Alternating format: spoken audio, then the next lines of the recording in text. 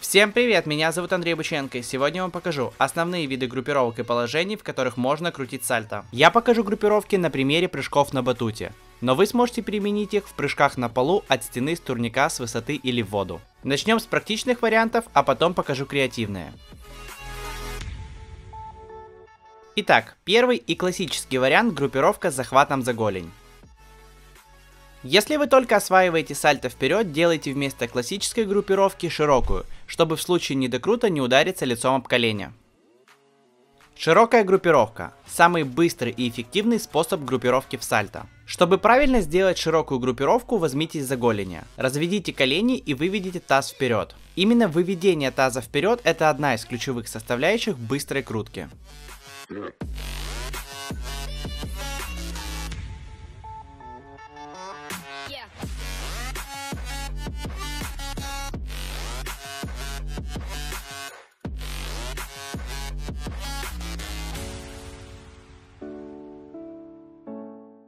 Группировка под колени или чемодан. Эффективно применяется в двойных сальто. Когда в первом сальто выполняем открытое или бланш или сальто с винтом, а затем подхватываем группировку под колени и докручиваем второе сальто. Во время вращения из-за скорости сложно сделать группировку с захватом за голень, а вот под колени проще дотянуться и лучше держаться. Мне, кстати, привычно делать двойное боковое с такой группировкой. Складка. В этом типе группировки важно плотно прижиматься корпусом к ногам. Это достаточно креативная группировка. Выглядит стильно и доступно только тем, у кого классная растяжка. Поэтому растягивайтесь и выделяйтесь. Угол. Это положение очень схоже с предыдущим. При выполнении ноги должны быть ровными в коленях и вместе. Особо эффектно смотрится в двойных сальто. Рваная группировка. Имеет смысл только начиная с двойного сальта. Эта группировка за счет постепенного выпрямления тела подходит как подготовительное упражнение для выполнения двойного бланша а за счет более ровного положения тела и свободных рук подходит для отработки винта во втором сальто при изучении двойных сальто.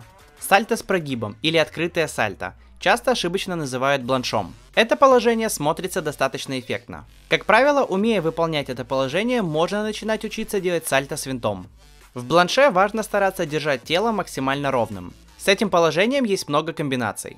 А теперь перейдем к более креативным вариантам. Мне кажется, что они максимально передают дух уличного стиля.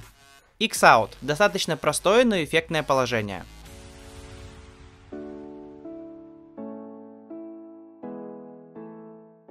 Разножка. Это один из моих самых любимых вариантов сальта. Мне нравится ощущение тела в полете и то, как выглядит элемент со стороны. Шаги. Этот вид сальта похож на разножку, но отличается тем, что нет зависания. Этот вариант еще называют лунной походкой. Double Leg. В этой группировке две ноги ровные в коленях и вместе, а угол между ногами и корпусом ориентировочно 90 градусов. Раньше это положение применяли в основном в боковом сальто, но сейчас делают во многих трюках.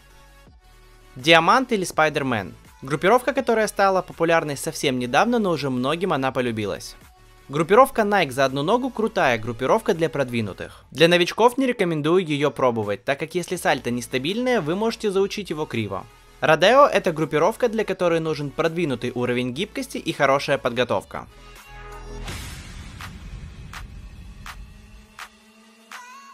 Затяг. Чтобы его выполнить, нужно зависнуть и остановить вращение, при этом голову оставить неподвижной, а затем возобновить вращение. Этот вариант подойдет для продвинутого уровня подготовки, так как новички после хорошего затяга могут не продолжить вращение.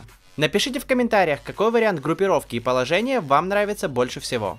Возможно, какие-то варианты группировок и положений у вас не получится. Так бывает из-за того, что не хватает гибкости или силы. Но это можно исправить, тренируясь по моей программе тренировок онлайн Art of Body Control. Пишите в комментариях «Хочу тренироваться» и я расскажу вам, как присоединиться к тренировкам. Ставьте лайк и подписывайтесь на канал. Кликайте на колокольчик, чтобы не пропустить новое видео, в котором я расскажу, как правильно прыгать на батуте на спину.